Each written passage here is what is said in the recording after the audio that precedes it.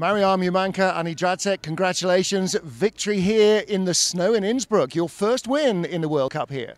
Yes, my first win. I was uh, very nervous at the beginning because, yeah, the season didn't start that good. So, yeah, we had some uh, pressure from ourselves. And the last week in La Plagne was not like we expected. And so I'm so glad that we made it here. Finally, a win in Innsbruck. So, yeah, very happy about it. Annika, two fantastic starts, uh, identical speed at the start, and, and that helps on this track. Yeah, as we all know, I think um, this is a start track, so a lot is um, saying at the start. And so I know, okay, that was my the most. Uh, my part is only the start, so I give my best, as you know. And yeah, I think we made the best of it. We had some uh, troubles because of the snow, but everyone has. So yeah, that's the sport, but we did it.